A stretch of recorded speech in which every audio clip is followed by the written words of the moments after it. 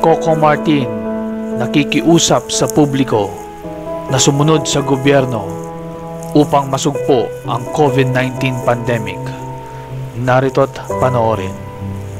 Pero bago yan, please click like at pindutin ang subscribe button para sa bagong updates.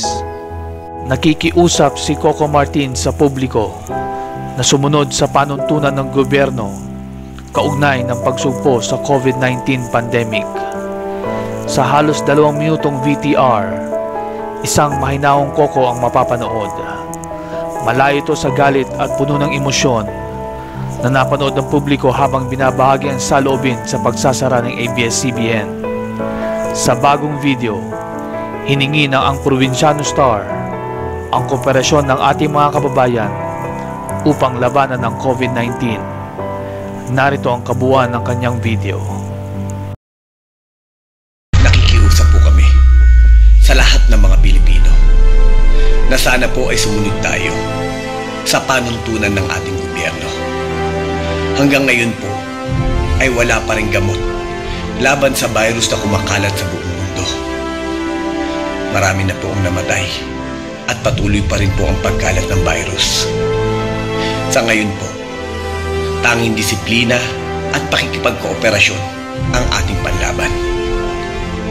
Pagod na pagod na po ang ating mga frontliners at marami sa ating mga doctors at nurses ang nagbuwis ng kanilang buhay upang mailigtas lang po tayo. Kaya please, nakikiusap po kami. Sana po ay sumunod na tayo.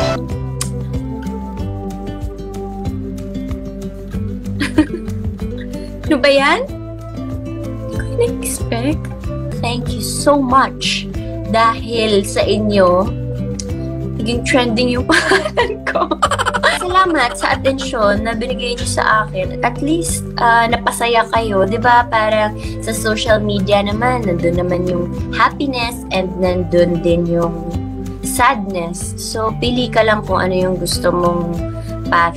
Yung masaya or yung malungkot. Yes, nalungkot. Nal malungkot talaga. Ah, oo naman. Kahit naman sino ilagay niyo yung yung sarili niyo sa posisyon ko. Nung time na yon mabigat talaga siya. Mabigat talaga as in di ko in-expect na kaya magsalita ng mga tao ng ganun. Hurtful words. Grabe yung mga paggising ko.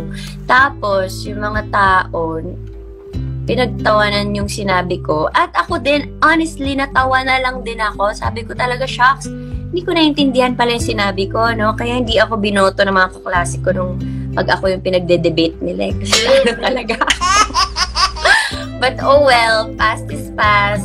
Dito ko nakita talaga yung suporta ng mga totoong kaibigan who who is there on your lowest point of life. Siguro isa to sa mga lowest. Yes, oo. Tao lang naman din ako na nasasaktan din, syempre. Lalo na medyo fragile yung emotions natin kasi nasa bahay tayo for ilang days. Um, maraming friends na nangamusta, ganyan. Huwag ka mag self-pity, huwag ka mag ano, huwag mong i-doubt yung sarili mo punta ka dito sa kabila, tignan mo, maraming gold dito. Parang sa ginawa mo, hindi mo ba alam maraming sumaya, maraming ganyan. I just wanna say thank you. Oh, Makibahagi at magkomento. For more news updates, please don't forget to click like and subscribe to my YouTube channel. Hanggang sa muli!